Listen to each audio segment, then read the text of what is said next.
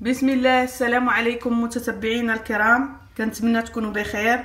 اليوم غادي نوجدوا الشباكيه لهاد الوصفة كنحتاجو كيلو ديال الفورس مغربل كأس ديال الزبدة دائبة ومحيد منها اللبن مقياس كأس العنبة كأس مع مرش ديال الزيت نباتية قبصه ملح ملعقة قرفة مطحونة ومغربله ملعقة نافع مطحونة ومغربله كأس ديال العنبة ديال الزنجلان منقي مغسول محمص ومطحون ومغربل. كأس ديال اللوز خضر مطحون ومغربل. هذا بالنسبة للمقادير اللي غادي نرملو فيها الشباكية ونغطيوها ونخليوها تبات. أما بالنسبة للغد فغادي نحتاجو كأس ونصف ديال ماء الزهر ربع كاس تاع الخل نصف ملعقة زعفران للون نصف ملعقة خميرة العجن. يمكن تعويضها بخميرة الحبيبات بشرط ندوبوها. ملعقة صغيرة من خميرة بيكين باودر صفار بيضة وملعقة من المسكة الحرة. أما بالنسبة للقلي فإحنا غنحتاجو زيت نباتية كأس من الزنجلان منقي ومحمص ونحتاجو عسل كيف ما كنت حضرته معكم في فيديو سابق. بسم الله على بركة الله.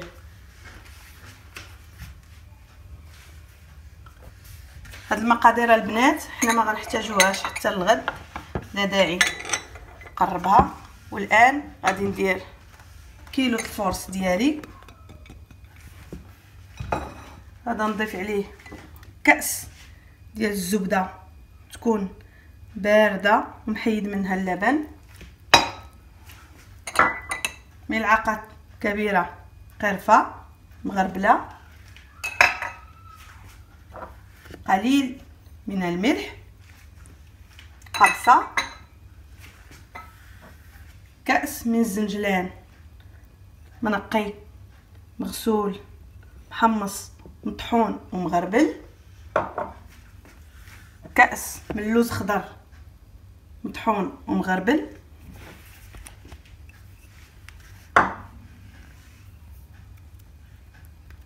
معلقة كبيرة نافع. مغربلة وكأس مع مرش من زيت المائدة. الآن غادي نرملو جميع هاد المقادير ونخليوها إن شاء الله تبات باش تدخل لينا في الفورص وتجينا العجين رطبه ملي نبغيو نخدموها. وباقي المقادير فإحنا إن شاء الله غنحتاجوهم للغد ملي غادي نبغيو نعجنوا العجين ديالنا.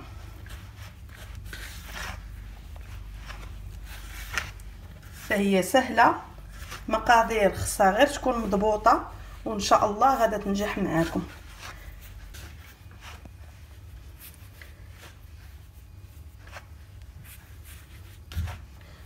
بالأصابع. وبالكفوف. غادا نرمل هاد المقادير كاملة وغادا نغطيها ونخليها إن شاء الله تبات حتى الغد. وعاد غادا نضيف عليها باقي المقادير.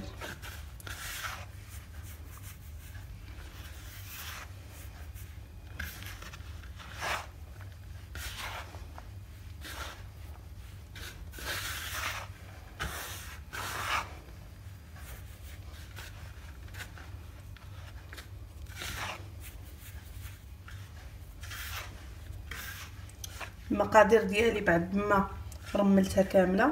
الآن غادا نجيب شي زيف وغادا نغطيها ونخليها تبات وغدا إن شاء الله نتلاقاو باش نوريكم كيفاش غادي نجمعوا العجين وكيفاش غادي نقليو الشباكية. بعد ما خلينا الشباكية ديالنا ترتاح الليلة كاملة والمقادير تدخل في بعضياتها.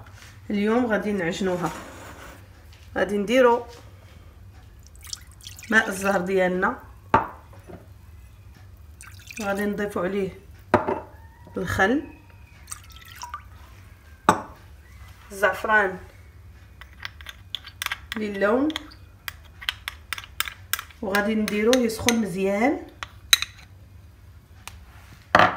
إلا كان الجو بارد غنخليوه يسخن مزيان.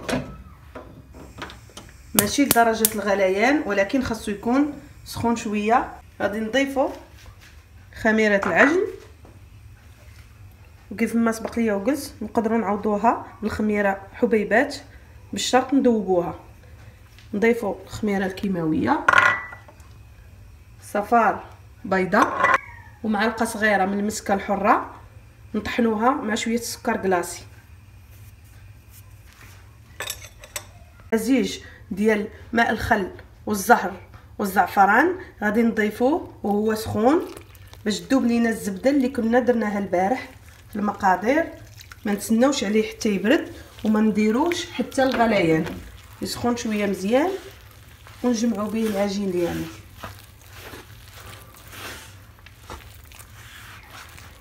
راه كتجي البنات رطبة وتجي ساهله إلا بغينا نسرحوها.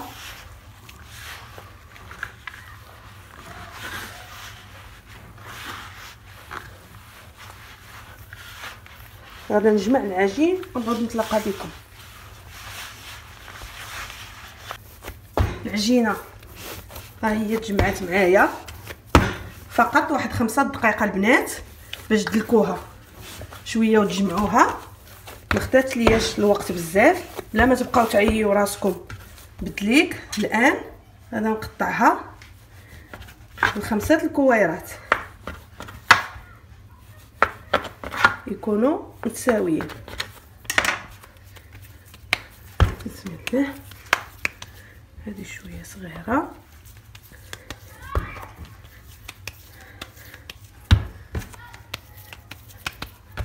وغادا نحطها في ساشي غذائي. ونخليها إن شاء الله ترتاح لمدة عشرة دقائق.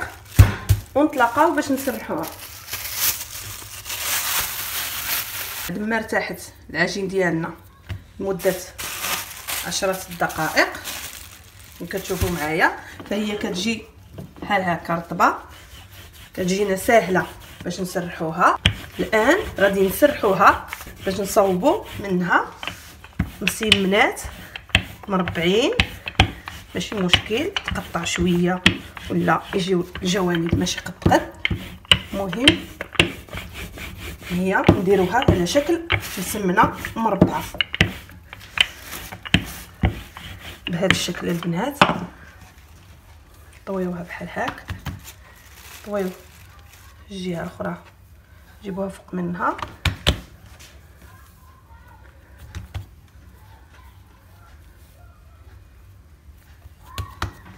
ونردوها للساشي ديالها.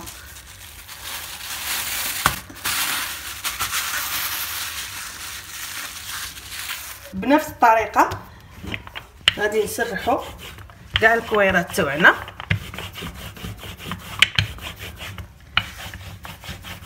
غنديروا الشكل مربع باش نصاوبوا منهم مسنات اللي غادي نقطعوهم وغنسرحوهم من بعد.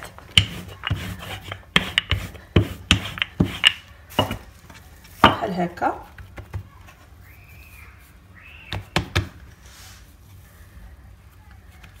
وغادي نحطوها البنات ترتاح لمدة خمسة دقائق وهذه ثاني مدة.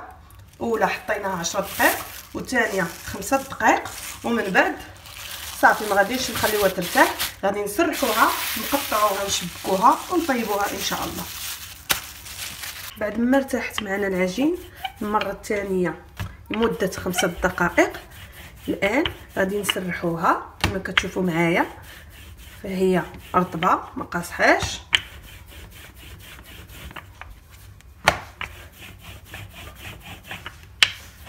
شوية بحال هكا.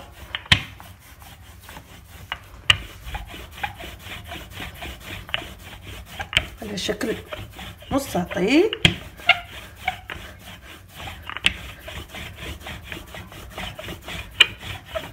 وغادا نقسمها. بحال هكا؟ على أربعة قطع. غادا نكمل جميع العجين ديالي بنفس الطريقة. أنا غادا نصوب معكم وحيدة أخرى.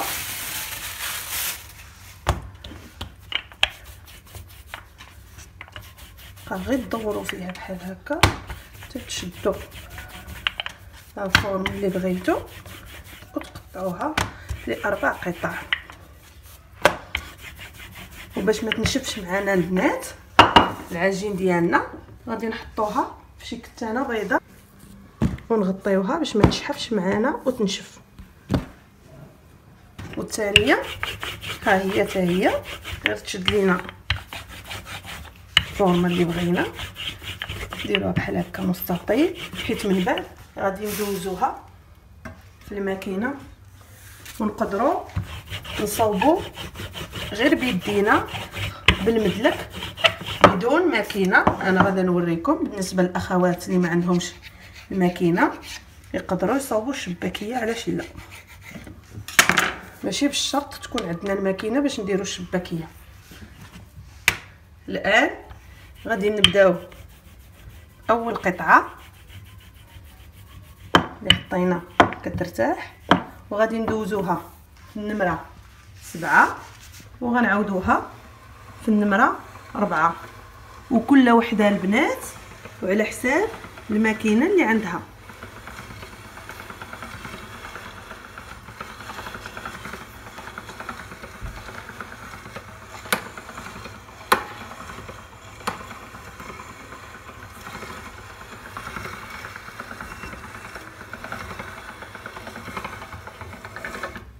بهذه الطريقة وغنعاودوها في النمرة أربعة.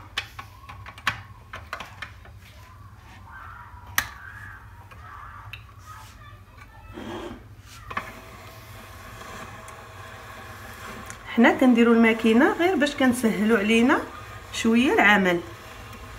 أما بالنسبة للبنات اللي ما عندهمش الماكينة فأنا الآن غادي نوريهم.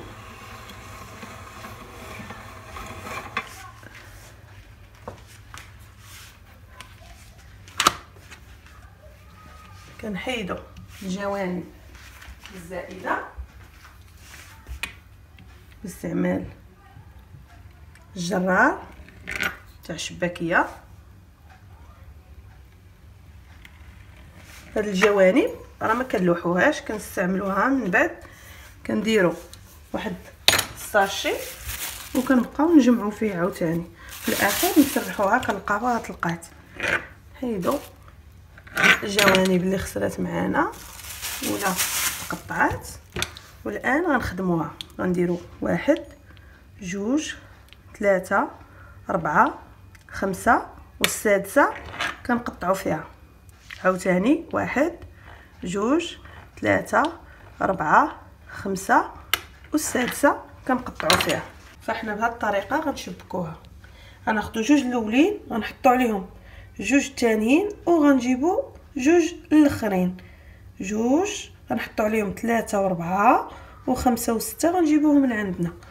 وغادي نسدو هاد الأطراف جيدا. ومن بعد غنخشيو صبعنا هنا. وغادي نجرو ونقلبو الشباكية تاعتنا بهاد الطريقة ومن بعد غادي ندفعو جهة الوسط.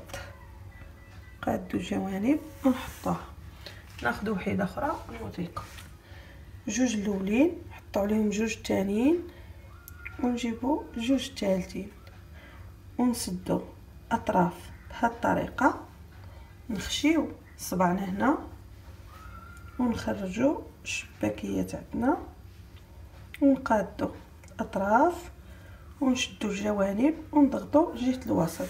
نعاودو وحيدة أخرى.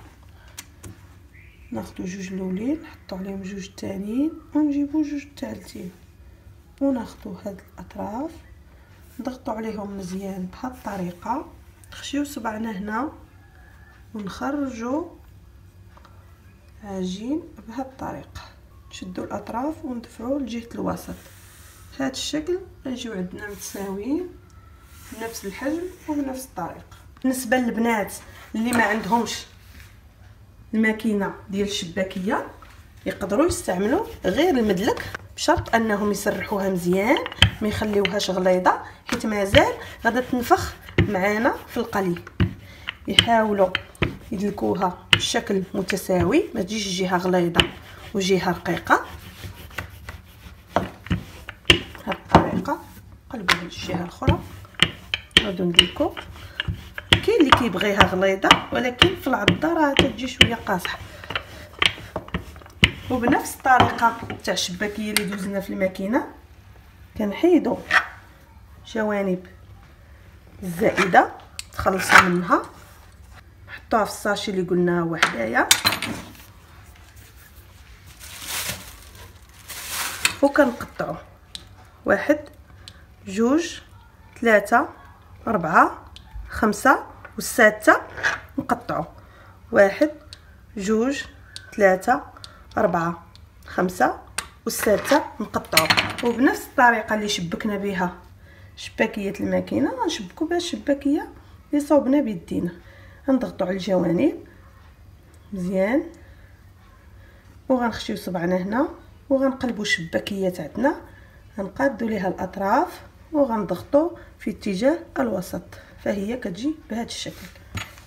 نقدروا نحيدوا جوانب الزائده إلا بغينا. بنفس الطريقة غنكمل جميع القطع اللي عندي وغادا نرجعوا لمرحلة القلي. بعد ما شبكت الشباكية ديالي كاملة البنات فانا مغطياها بهذا المنطق باش تبقى ليا دافية. وما تكرمش معايا وتخسر. الآن غادي نشوفوا معايا. فهي كتعطي تبارك الله كمية وفيرة. والآن أنا غنغطيها وغنبدأ ناخذ غير من الجنب. الزيت خصو يكون البنات سخون مزيان والعسل حتى هو اللي كنت صوبت معاكم من قبل. ها هو سخنته غادا نقص عليه. غنخلي البوطة كيف ما كتشوفوا مهيلة بزاف وغنخليه شاعل طول الوقت اللي غادا نكون كنطيب فيه الشباكية. وخاصني يكون عندي واحد الصفاية ولا الكسكاس. أنا كنستعمل هاد البرمة والكسكاس ديال الكسكس باش كنحط فيه شباكية بعد ما نطيبها ونديرها في العسل. فأنا كنحطها في الكسكاس باش يتصفى ليا هذاك العسل هنايا لتحت وتبقى ليا الشباكية. وباقي معانا من المقادير كأس ديال الزنجلان محمص فهو اللي غادي نزوق به الشباكية ديالي. في الأخير بقاو معايا شوفوا المراحل. بسم الله كرميو الشباكية تاعنا. الزيت كيف ما قلت. يكون سخون. من قبل ما يكونش دافئ يكون سخون مزيان ماشي الشباكيه ديالي وباش ما تغلبش علينا نديرو غير 8 القطع 10 نديروش بزاف وما نخليوهاش عاوتاني حتى تحرك نطفيها في العسل نرمي عاوتاني شباكيه قطع اخرين ونمشي نحيد هذيك اللي بهاد الطريقة غادي نكمل باقي القطع ديالي.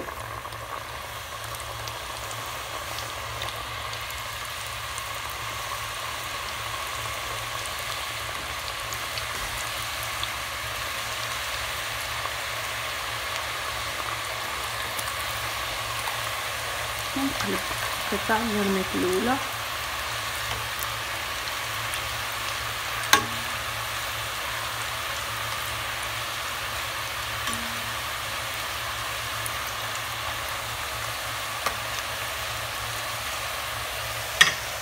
كما كتشوفوا معايا.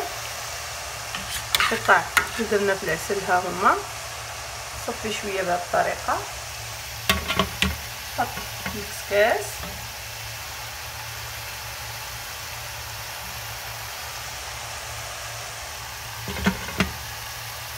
وندردر الزنجلان بحال هكا. مع حد العسل سخون.